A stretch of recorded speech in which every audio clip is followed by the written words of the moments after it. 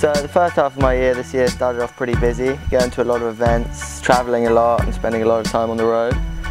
Yeah, it's definitely been good to come out to Fuerteventura halfway through the year and just uh, take some downtime.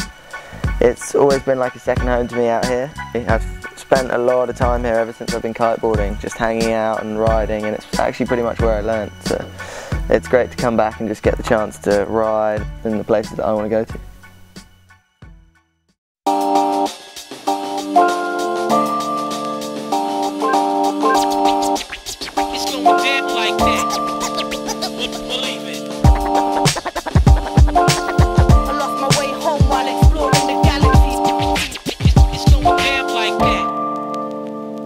When I chill, I'm talking glacial. Lace any break with an understated skill, make it feel like you're in a fabricated reel. Like spending hours taking pills. Welcome to my animated film. Journeys through stainless steel. My willow cut sharper than any saber will. We're bubbling like soda stream syntax, coming fresher than potpourri.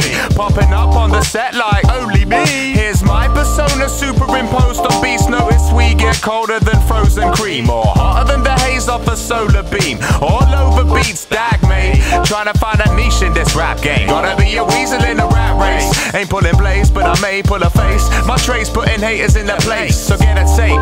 Nah, fuck that, it's all digital. I'm getting more gripping than four fingers will. Trying to stop your breakfast, Mr. Volgatron and the Dr. S. Yo, it's Dr. Syntax. Orifice. Dropping sick raps. This. What we dispatch. You get bitch slapped. We got the killer raps, no fella, you should consider this. The iller kids spitting it sicker than 50 Yo, invalids. it's Dr. Syntax. Orifice. Dropping sick raps. Never this. What we dispatch. You get bitch slapped. We got the killer apps, no fella, you should consider this. The iller kids spitting it sicker than 50 invalids. Drop a sick rap, sit back with Dr. Syntax. Sunday afternoon, got my mind set on six tracks. It's kinda nice to exist in the here and now.